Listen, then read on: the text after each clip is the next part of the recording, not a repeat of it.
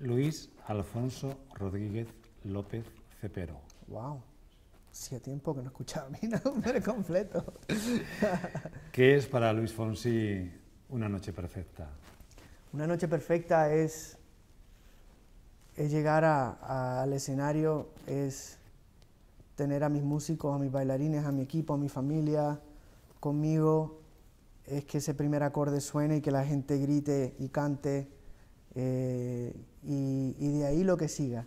Pero para mí mi felicidad, fuera de estar con mi familia, que ya eso es el, lado personal, pero mi felicidad profesional es estar sobre, sobre un escenario. No hay nada mejor que eso.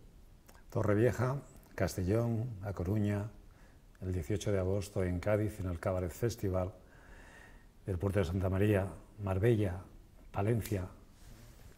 ¿Qué es lo que vamos a poder ver en esa noche perfecta y qué es lo que vamos a poder disfrutar de esos conciertos?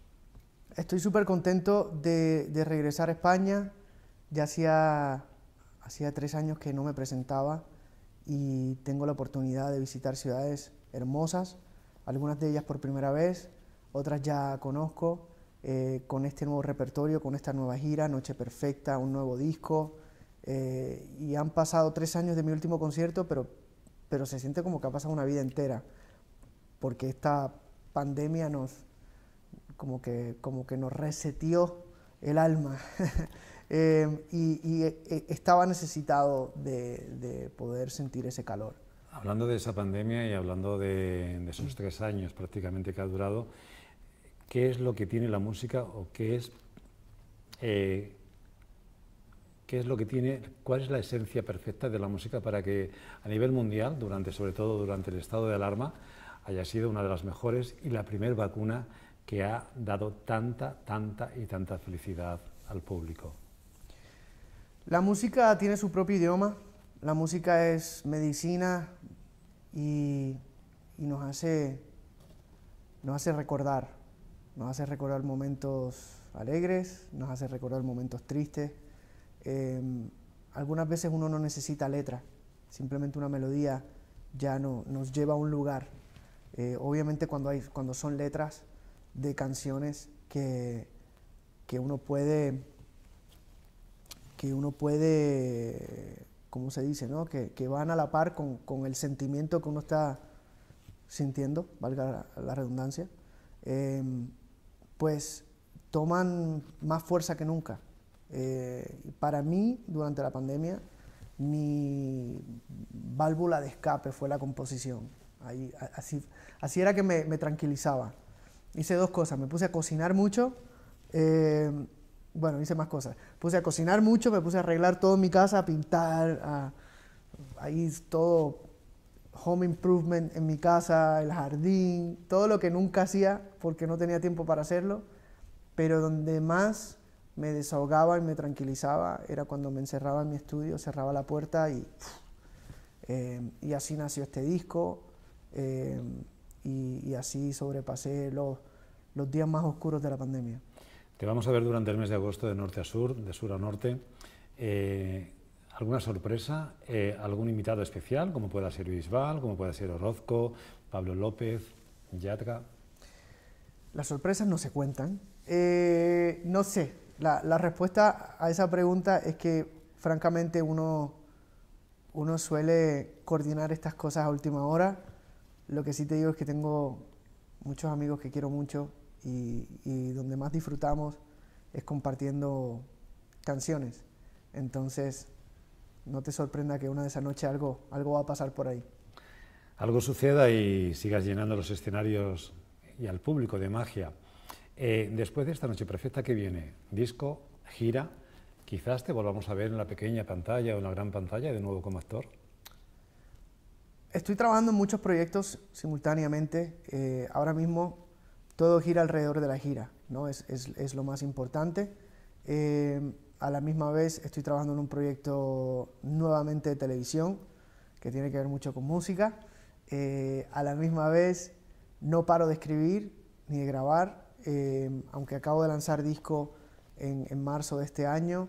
Eh, ya estoy trabajando lo que será mi próximo disco, que se lanzará el año que viene, que no tiene fecha, que no tiene título, que no tiene nada, pero lo que sí tiene ya son, son varias canciones que he ido escribiendo.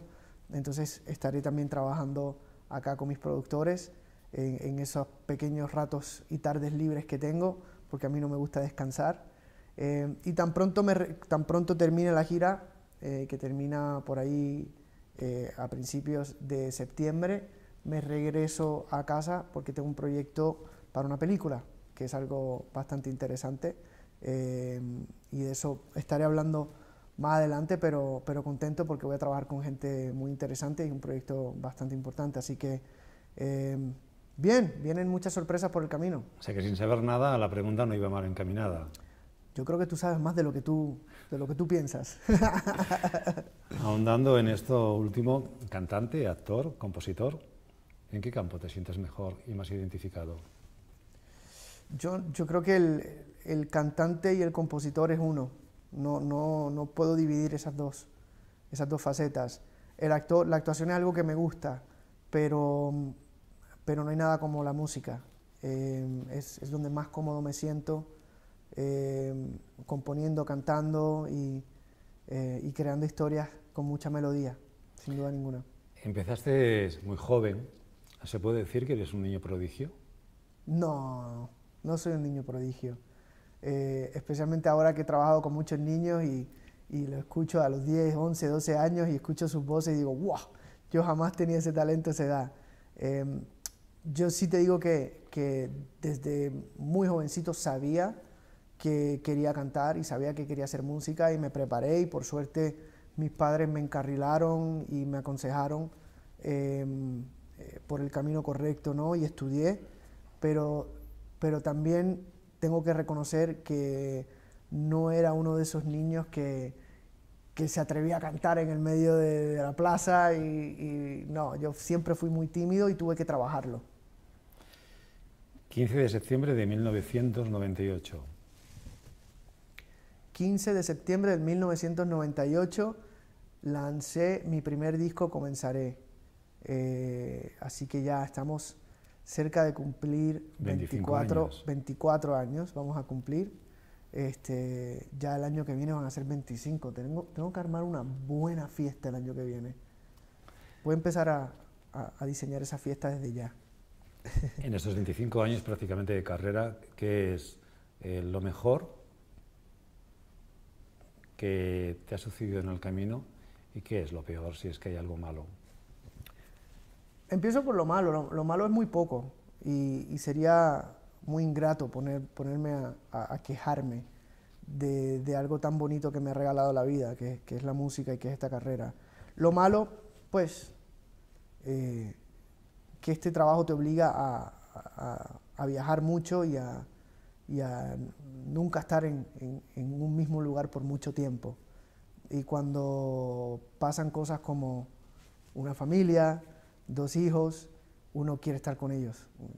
Y me, cuesta, y con, los años me cuesta aún más eh, alejarme de ellos.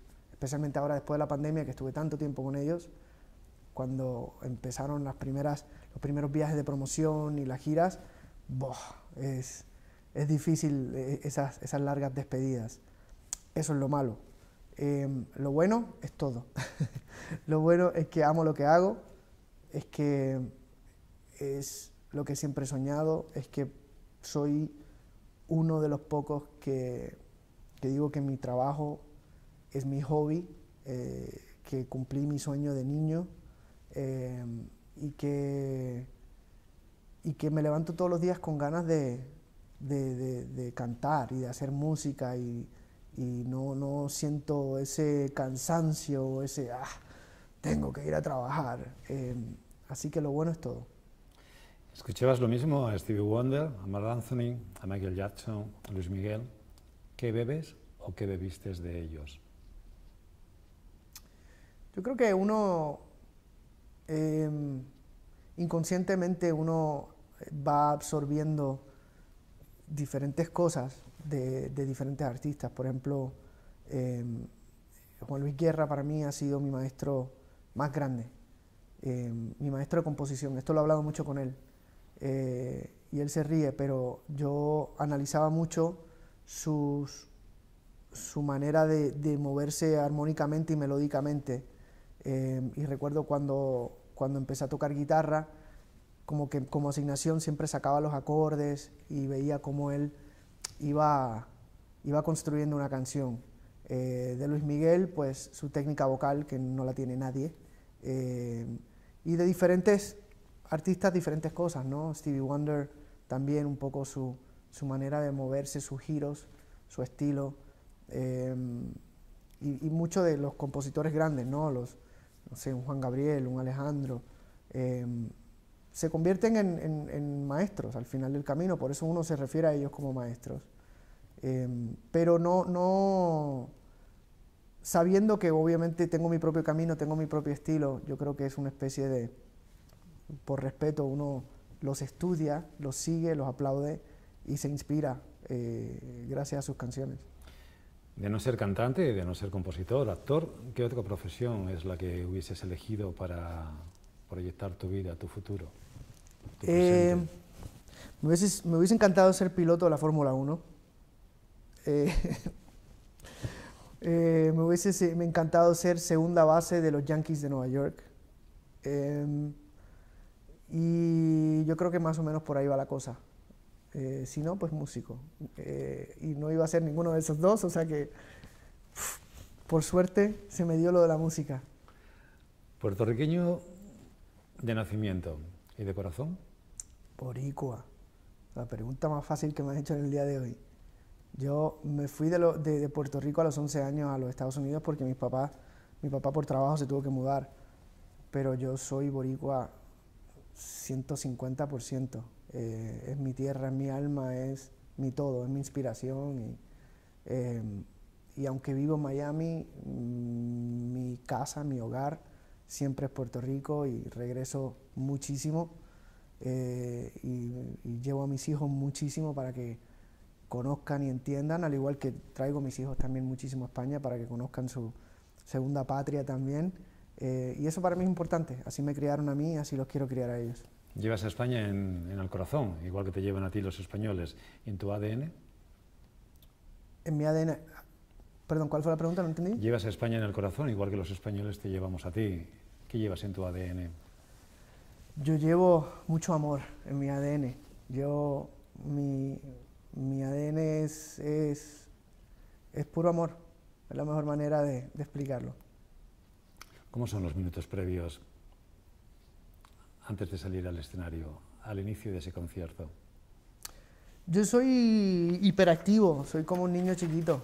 Eh, no, no suelo, no soy de los que me gusta meditar y prender velas y momentos de silencio, eso me desespera. Yo necesito estar, estar con ánimo, me gusta verificar que todo esté en su lugar, que los músicos estén bien, que los bailarines estén bien, siempre hablo con los técnicos, sonido, luces, oye, tal cosa que necesito saber, la pirotecnia, dónde está, para asegurarme que no me voy a quemar, eh, qué necesito saber del lugar, de, del escenario, todos los escenarios son un poquito diferentes, eh, pero es un poco, es, es, una fiesta, es una fiesta, esa, esa, esos 20 minutos antes de empezar el show, es como empezar a, a sentir esa energía y, y ese amor, eh, cosa de salir ya con, con, con, todos los caballos de fuerza ya listos.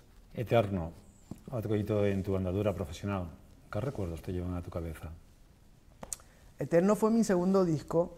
Eh, fue mi segundo disco, pero fue el primer disco que se lanzó a nivel internacional eh, y fue el primer disco que verdaderamente me atreví a, a, a, construir, ya que mi primer disco yo estaba todavía en la universidad, me dijeron, Fonsi, tienes que grabar estas 10 canciones, y yo dije, ok, grabé las 10 canciones, eh, un poquito más, eh, quiero usar la palabra forzado porque no, nadie me forzó a hacer, nadie, a hacer nada, pero no, no me atreví a darle ese sello personal a mi primer disco. Ya en Eterno yo elegí el productor, yo quería trabajar con Rudy Pérez, eh, yo elegí cada canción, yo ya empecé a escribir mis propias canciones, eh, a trabajar los arreglos, los coros, ya, ya le empecé a poner el sello, ya tenía claro qué era lo, quería, lo que yo quería decir y cómo lo quería decir. Eh, entonces es un disco que fue mucho más personal. ¿El verdadero amor es secreto? No, no sé. Yo no, yo no soy experto en el amor, ¿sabes? no, créeme que no sé. Hay, hay amores secretos y, y, hay amores que hay que gritarlos, ¿me entiendes? Em, no, no, te sabría decir. Eh, yo nada más te puedo hablar de, de, lo que yo he vivido y lo que yo estoy viendo ahora mismo es, es un amor hermoso que no es en secreto, todo el mundo lo sabe. No, yo no puedo, no tengo secretos ya. ¿Qué significa para ti la ley de la gravedad? La ley de gravedad, mucha gente piensa que, que todo lo que sube baja, que todo cae al piso, y en realidad eso no es el significado de la ley de gravedad. Eh, el, el, significado científico ¿no? es que la masa más grande atrae a la masa más pequeña, ¿no? Eh, y, yo lo veo como algo muy similar a la ley de atracción. Eh, y así es el amor, así somos los seres humanos. Hay, eh, hay algo que nos atrae, muchas veces uno no sabe qué es, eh, y hay una conexión. Y, y, de eso se trata la canción. Como que uno no puede, uno no puede batallar y luchar con la ley de gravedad. Si tiene que ser, así será.